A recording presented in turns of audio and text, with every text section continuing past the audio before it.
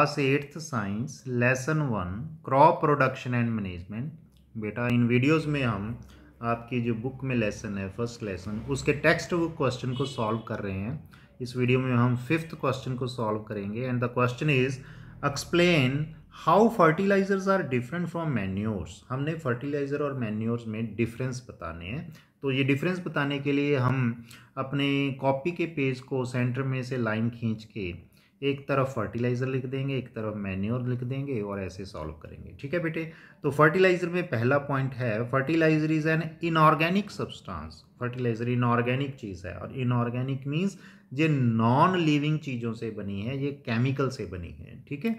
जबकि मैन्योर क्या है, ये ऑर्गेनिक सब्सटेंस है। ऑर्गेनिक सब्सटेंस का मतलब कि ये पेड़ पौधों या जानवरों के जो बचा खुचा चीज़ है, जो डेड बॉडीज़ हैं उनके गलने सड़ने से ये मैन्योर बनती है। बेटे फर्टिलाइज़र को हम केमिकल फर्टिलाइज़र भी बोलते हैं, जबकि मैन्योर को हम कंपोस्ट भी बोलते हैं, देसी खाद भी बोलते हैं okay second difference is it is prepared in factories fertiliser हमेशा फैक्ट्री में बनती है, जबकि manure manure is prepared in fields by decomposition of animal plant and human waste जो मैन्योर है, जो खेतों में या सॉइल में पैदा होती है, इसमें हम एनिमल्स प्लांट्स और इंसानों का जो वेस्ट मटेरियल है, वो सारा कचरा कूड़ा जो है, वो एक टोआ हम उसमें डाल देते हैं और फिर उसके ऊपर, उसको मिट्टी से ढक देते हैं तो धीरे धीरे वो गल सड़ के खाद में बदल जाता है मैन्योर में बदल जाता है। Third point is does not provide humus to the soil अगर हम खेतों में फर्टिलाइज़र डालते हैं तो उससे मिट्टी को ह्यूमस नहीं मिलता। ह्यूमस का मतलब उसे ऑर्गेनिक मटेरियल नहीं मिलता। ह्यूमस एक लेयर होती है मिट्टी के ऊपर जो गल सड़ रहे पत्तों वगैरह से बनती है।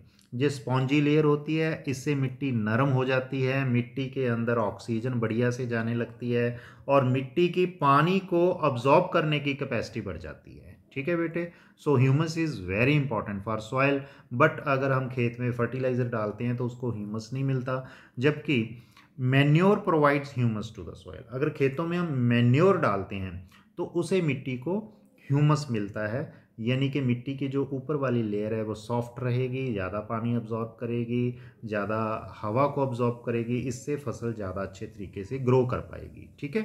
Fourth point it is rich in plant nutrients जो फर्टिलाइज़र होते हैं, इसमें न्यूट्रिएंट्स बहुत ज़्यादा मात्रा में होते हैं, जबकि जो मैन्योर है that is relatively less rich in plant nutrients इसमें प्लांट न्यूट्रिएंट्स फर्टिलाइज़र के कंपेरि कंपैरिजन में कम क्वांटिटी में होते हैं।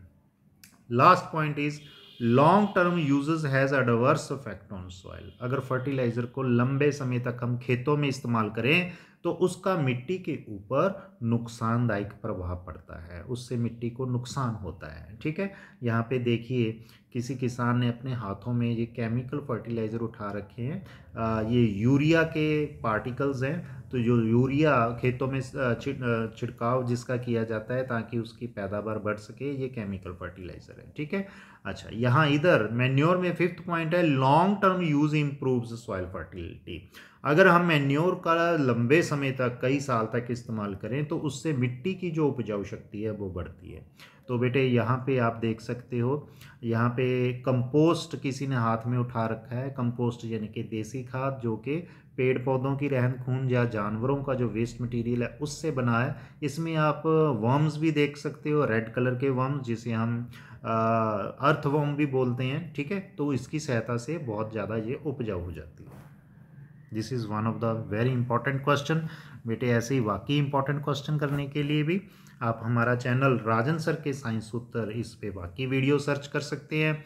अगर आपको वीडियो अच्छी लगी हो तो इसको लाइक करें कमेंट करें शेयर करें और हमारे चैनल को सब्सक्राइब ज़रूर करें।